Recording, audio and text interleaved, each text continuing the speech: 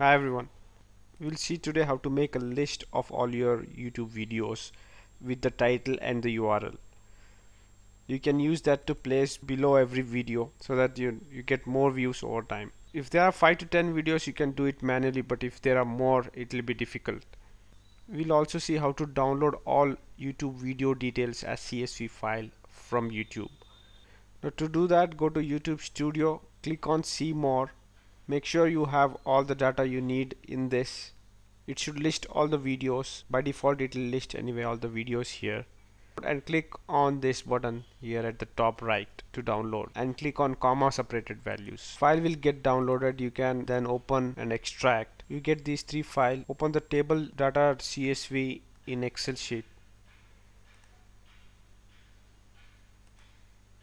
Now you have all the values that were there in the table in this excel now to create title to video mapping you can remove these columns. You don't need this.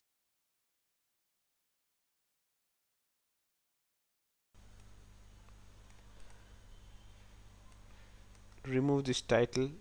Cut this column and paste it here. Now write a formula is equal to concat within double quotes https youtu.be slash and then this column b1 now we get the URL just select that and double tap on this dot. So it's get copied everywhere. Now this since this is a formula copy this column and paste as a value.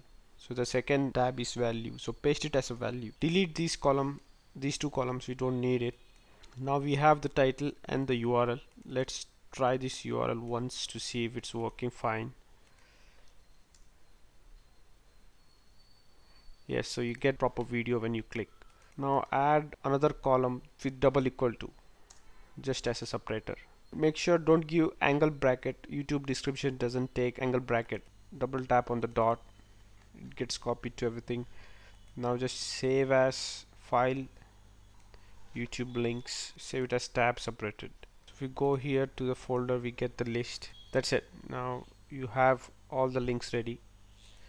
If you want to be separated by two line open in notepad plus plus gives backslash n replace with double backslash n. Make sure the extended is selected here. If you do replace all there will be a new line space between each. Now to make sure your all future videos will have these links by default.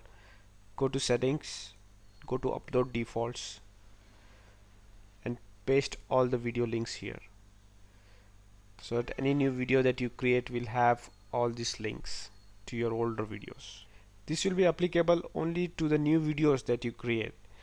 To add all the links to the old video go to videos tab on your YouTube studio select all click on edit click on description and select insert at the end and add your all the video list. Select all and paste the video link and click on update video. So all the links will be added to your old videos.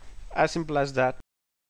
Don't forget to like and subscribe for more youtube trick. See you in another video soon. Till then have a nice time